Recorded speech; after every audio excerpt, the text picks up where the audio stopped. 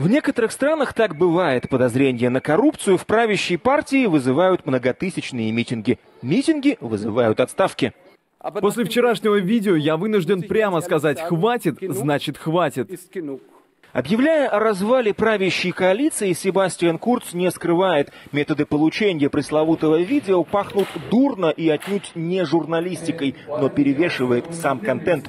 Ибица, июль 2017-го. Без пяти минут вице-канцлер Австрии Хайнц Кристиан Штрахе, лидер ультраправой «Партии свободы», посреди предвыборной гонки готов помочь племяннице якобы русского олигарха отмыть в Австрии сомнительный капитал.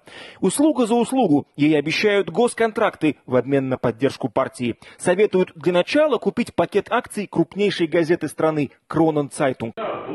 Ну, трех-четырех человек в редакции мы потом продвинем наверх, трех-четырех вышвырнем, а следом сразу поставим еще пятерых своих. Вот и вся сделка. И если такое издание за 3-4 недели до выборов нас начнет продвигать, то за счет этого мы завоюем не 27, а все 34%. В прессе эту пленку слили через два года и за неделю до выборов в Европарламент. Перед уходом в политическое небытие Штрахи признается, что в тот вечер был пьян и угодил в западню.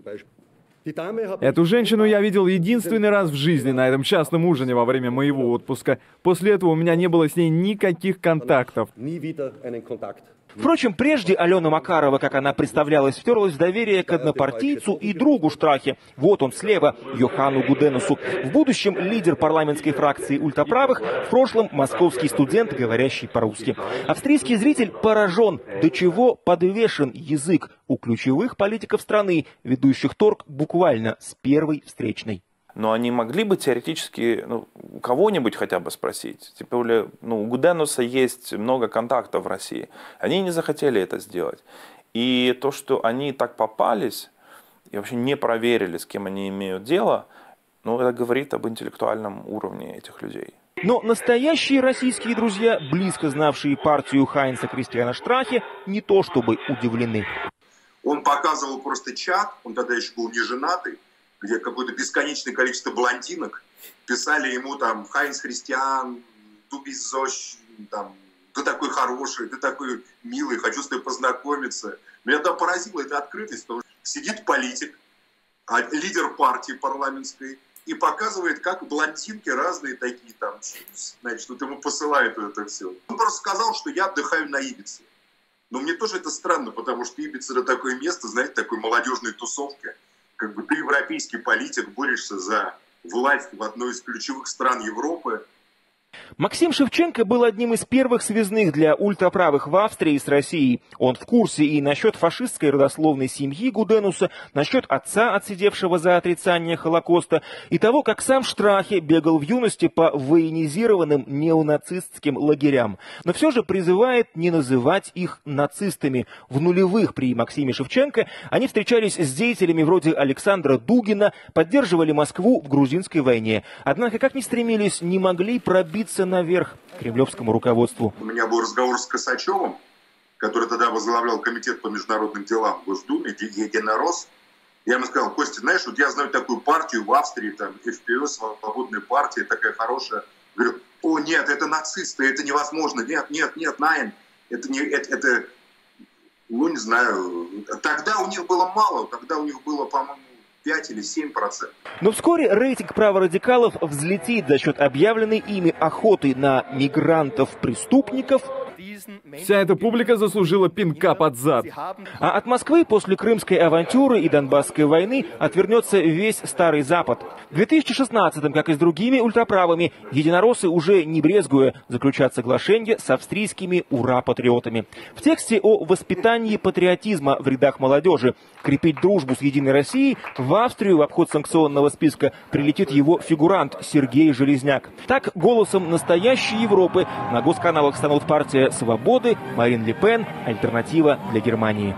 А, когда они приглашают в качестве комментаторов или а, там, opinion-мейкеров э, таких представителей крайне правых партиях, они пишут, ну, там, член Европарламента или там член национального парламента Австрии. То есть официально Россия вроде как антифашистская страна, но там, но на самом деле она сотрудничает с крайне правыми.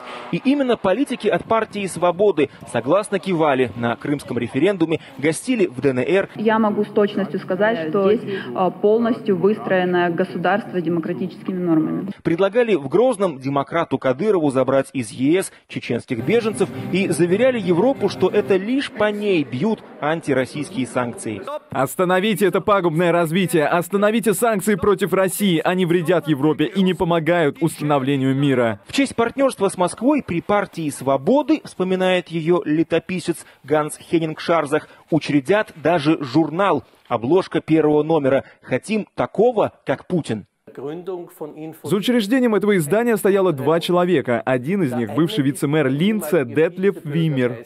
На праворадикальных интернет-форумах с ним связывают особые надежды. А сомневающихся, будто он не является неонацистом, уверяют, нет-нет, он один из нас, просто закон об экстремизме в Австрии строгие. Вот и приходится ему к ним приспосабливаться. Еще в 90-х Хайнц Кристиан Штрахе, будущий лидер австрийской партии «Свободы», корнями восходящий к НСДАП, требовал снести знаменитый памятник воину Красной Армии в Вене как враждебный ей символ советского империалиста-завоевателя. Однако в эпоху Владимира Путина ненависть австрийских ультраправых к России вдруг сменилась любовью. Оказалось, что ценности очень уж близкие.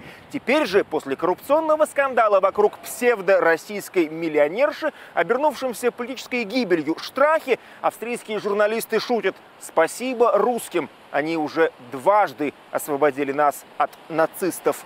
Они часто говорили, Путин навел порядок в России, сильный человек. Им нравилось, что в России отказывались признавать отношения секс-меньшинств, в то время как в Австрии геям и лесбиянкам можно было заключать браки. Партии свободы это было не по душе. В путинской России, как им казалось, была настоящая идеология. На декадентском Западе ее не было. Забавно, но об этом декадансе они и рассуждали посреди попойки с Редбулом и водкой на Ибице. Из съемок этой попойки, намекают в журнале «Фальтер», одно одном из трех получивших к ним доступ, специально вырезан весь компромат интимного свойства. Ни оргий, ни наркотиков, лишь переговоры с мнимой россиянкой. Вот ее уговаривают пожертвовать в черную кассу их партии. Среди тайных спонсоров якобы, забыл слово по-русски, и австрийский оружейный концерн. Есть пара очень состоятельных людей, которые нам платят от 500 тысяч до полутора или двух миллионов евро. То есть сейчас перед выборами? Но платят они не напрямую в партию, а через одно общественное объединение. Ты объясни ей это. Да, уже объяснил. Нет, ты ей объясни, что эти суммы проходят минуя счетную палату. Откровений от Гуденуса и Штрахи тут более шести часов. В них и про то, что, цитата, «все репортеры шлюхи» и что в планах будущей партии власти контроль над прессой по образцу Венгрии Орбана. Журналистка Нина Хорочек утверждает, что планы эти правые, придя во власть, начали осуществлять давление на общественное телевидение. Под их контроль в правящей коалиции попали МИД, МВД, соседи по ЕС встревожились. Нам в редакцию попал как-то, к примеру, секретный документ от спецслужбы Финляндии, на котором было написано «Для стран Евросоюза, пожалуйста, без передачи в Австрию». И это был серьезный знак. Уже не все в Европе нам с нашей чрезвычайной близостью к Кремлю доверяли. Понятно, что это была грязная провокация, но мы увидели и верхушку партии совсем в другом ключе, готовы готовы к коррупционным схемам, к торговле чем угодно, свободой слова, госконтрактами. Стоит ли теперь пересмотреть это партнерство между Единой Россией и Австрийской партией свободы? Ну, такие решения принимаются, разумеется, коллективно. И э, для начала нужно разобраться по существу. Даже в заключении э, австрийского генерального прокурора, который ознакомился с записью, содержался вывод, что ничего предосудительного, ничего криминального в ходе этого разговора э, не прозвучало, поэтому я бы здесь не торопился с выводами. Единорос Константин Косачев, тот, что когда-то клеймил их нацистами, сегодня очень ждал политиков от партии «Свободы» и не только от нее на заседании Валдайского клуба в Вене. Десант российских дипломатов, парламентариев надеялся на встречу и с Карин Кнайсель, главой МИДа Австрии. Это ее на министерской свадьбе кружил в танце Владимир Путин. Но после скандала с псевдоплемянницей русского олигарха венский вальс сменился гробовой тишиной. Российских гостей конференции принимающая страна в последний момент лишила изначальной площадки.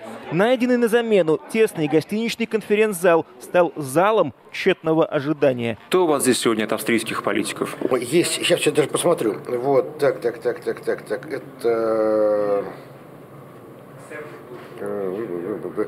Вот, э, он экономист, я так понимаю. Вот. Еще у нас вот есть коллега э, из Острой, Ост, Ост, Ост, э, Ни один из политиков Австрии, еще вчера главный в Европе союзницы Кремля, не пришел. Говоря жаргонным языком, попали под замес гениальным замысел тех, кто это устроил, что они совершенно точно выбрали слабое звено.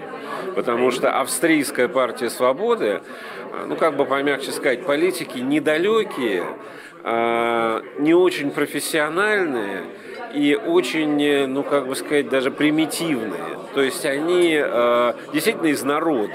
Поэтому они эту наживку заглотили просто глубоко-глубоко. По чьей воле и как они попались на эту наживку, изучают в австрийской прокуратуре. К концу недели предполагаемых исполнителей уже нашли в самой Вене. Российского следа в легенде о российской миллионерше нет. Но есть вопрос к России. С кем будем впредь в Европе дружить? Константин Калинцевайк, Илья Левентов, Яна Карпова, RTVI, Австрия.